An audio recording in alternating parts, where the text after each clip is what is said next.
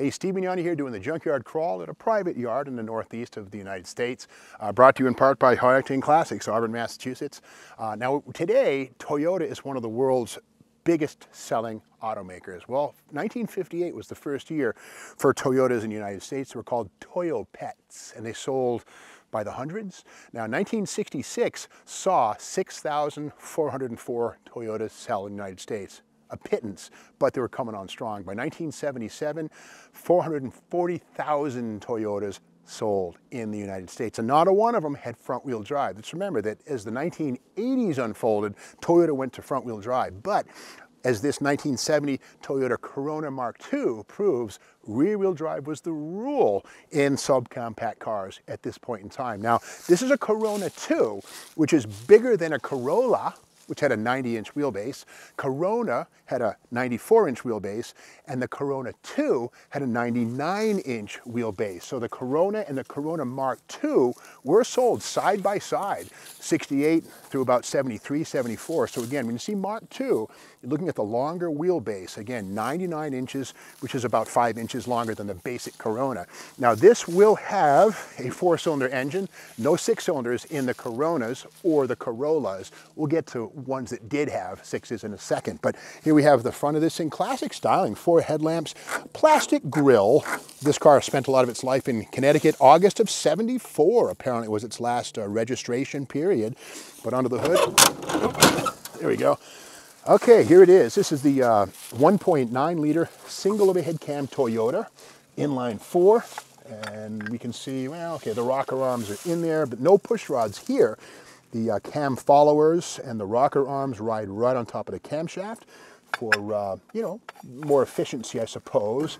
Uh, iron head on this one here, interesting. No aluminum heads, they'd arrive a little later on. Uh, this one has the aluminum intake with a two-barrel formerly carburetor. There's the oblong opening for the two-barrel. And the Corona Mark II was a little upscale from the Corona optional power disc brakes. And again, disc brakes are standard on Corona 2s.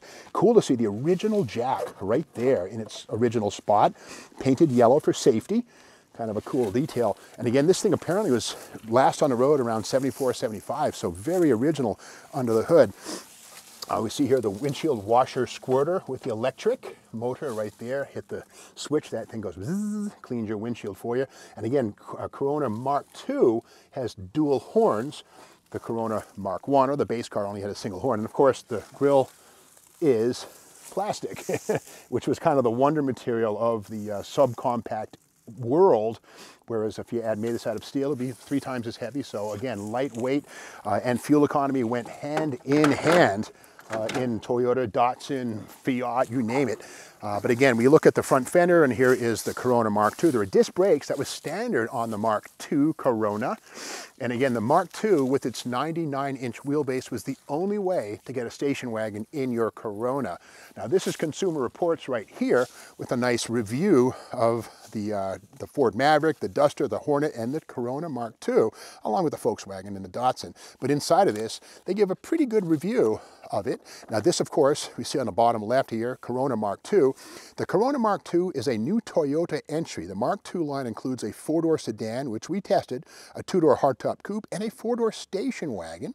Uh, they say it's well equipped, and here on the right-hand side, one complaint, they say the heater controls are easy to reach, and a good thing too, since we had to fiddle with the heater all too often. It was almost impossible to modulate the temperature. A tiny push on the control lever changed the heater output from full hot to full cold. The heater also discharges hot air directly onto the driver's right foot, baking it.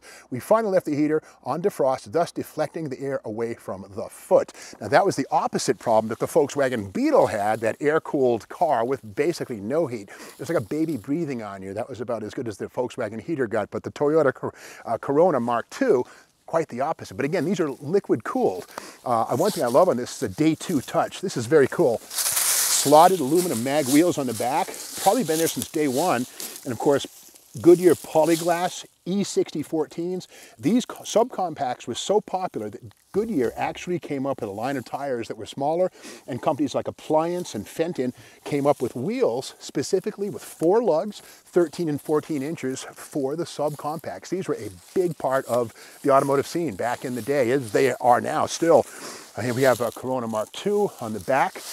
And uh, this, of course, is a station wagon. And again, if you want a Corona wagon, it's got to be a Mark II.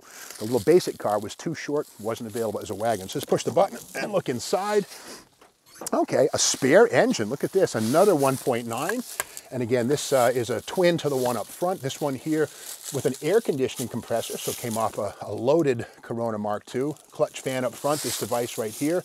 This is a thing that basically allows the clutch to freewheel or cool as needed not sapping power. And this is an automatic. Here's the torque converter right here. A lot of these were, were manuals with a, a flywheel and a pressure plate, etc. But this is the automatic, small diameter unit, which brings us here. Now I mentioned earlier a six-cylinder engine in a Toyota. Well, the only way to get that in 1970 would have been to buy yourself a Toyota Crown. And there it is right there. And it says here, this is Car Life magazine, March 1970. Soak a BMW in hot water for two days and you have a Toyota Crown. In other words, it would shrink down, but they liked it that much to compare it to a BMW. Say the Crown is a very conventional car in general. It's a step up from the Toyota Corona and Corolla in price and size and weight. One of the few things Cadillac and Crown have in common is that neither is faster nor more sporting than its lower priced brother.